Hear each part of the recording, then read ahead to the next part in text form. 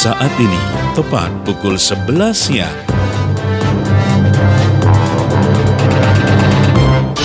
Mitra Radar, sesaat lagi, info radar terkini.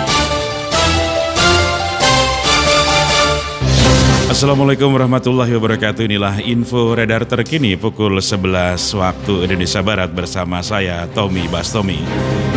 Pendengar radar dari Bandar Lampung dilaporkan penyandang disabilitas yang masuk dalam daftar pemilih sementara mencapai 6.580 orang. Partisipasi mereka dalam pemilihan gubernur Lampung 27 Juni 2018 nanti menjadi salah satu fokus kerja Komisi Pemilihan Umum KPU Lampung. Ketua KPU Lampung Nanang Trenggono mengatakan lembaganya sudah menyiapkan surat suara khusus untuk tunanetra. Surat suara untuk pemilih yang tidak dapat melihat ini menggunakan huruf braille.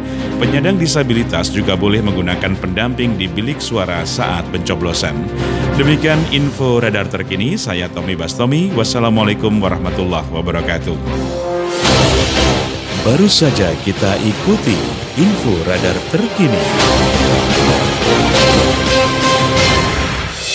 99,2 FM Radio Radar Lampung.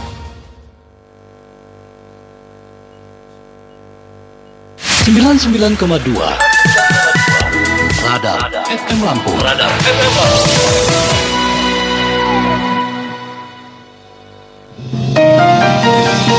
Dipancarkan langsung dari Geraha Pena, Radar Lampung, Jalan Sultan Agung nomor 18, Bandar Lampung. Inilah Radio Radar Lampung 99,2 FM.